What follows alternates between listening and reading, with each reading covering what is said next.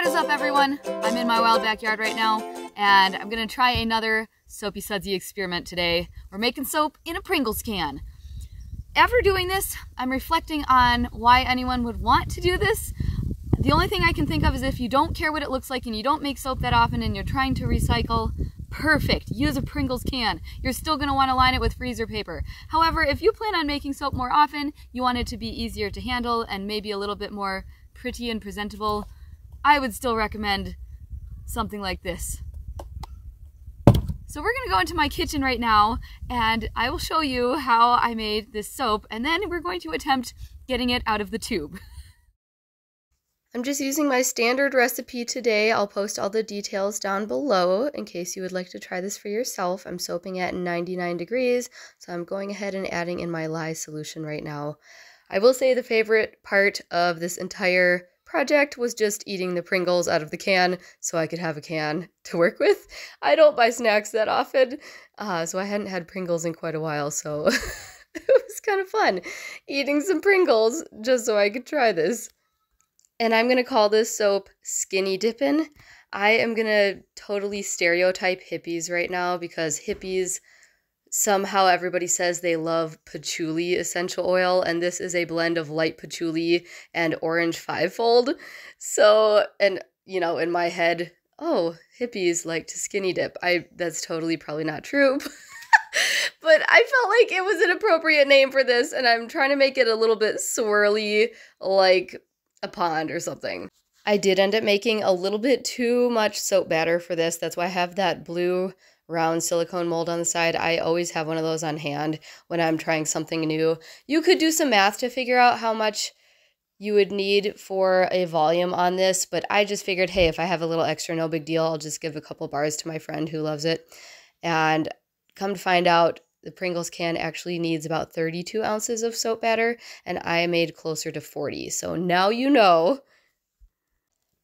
Since I'm doing an orange swirl with this for the orange essential oil. I wanted to put some orange peel and turmeric in that. So I sprinkled those in. And then for the grayish color, which represents patchouli, that was some indigo powder.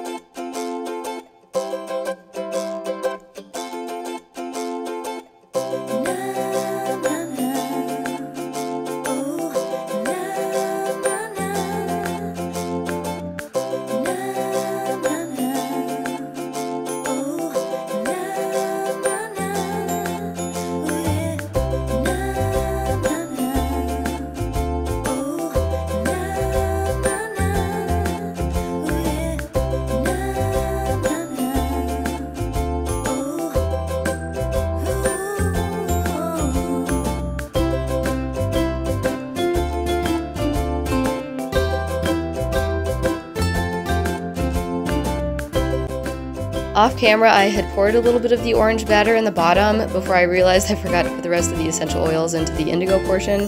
So in the end, it didn't come out perfectly evenly. And then I ended up using one of my metal straws to try to give this a nice swirl, but I don't know if I reached all the way down to the bottom on that. So we will see how this turns out.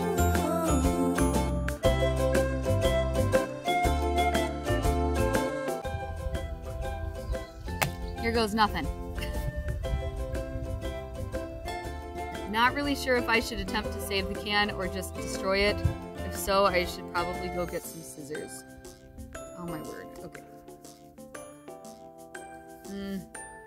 I think in those reels that I've seen, they like removed the bottom. Okay, this is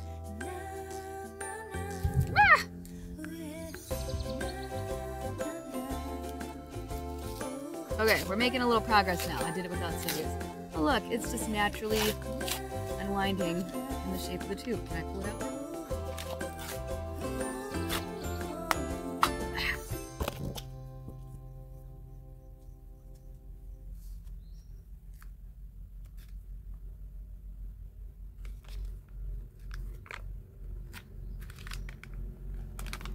It's the day before 4th of July recording this, and we live right by a trail, so lots of side by sides going past right now. Sorry about the noise.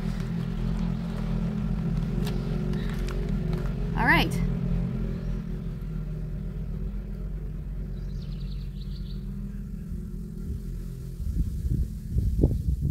Let's give this a slice and see how it turned out.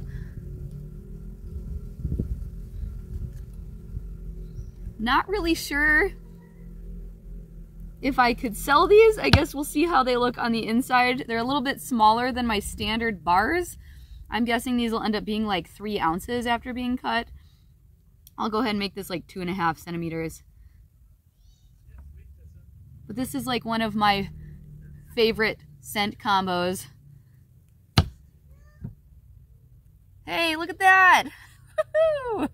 That's actually like 10 times better than I was expecting. Whoa! Okay, that's actually kind of cool. I might be able to sell these. Otherwise, I was just going to use them myself, or I have a friend that really loves orange patchouli. Okay, that's really addicting. All right, let's try a few more.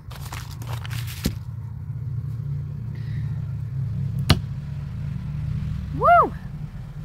So far, pretty happy.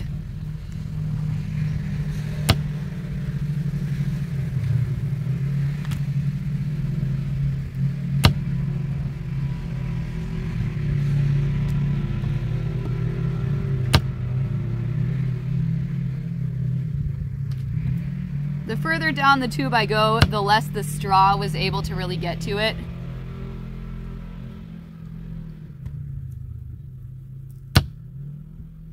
And because the patchouli is a floral, it kind of thickened up a little bit.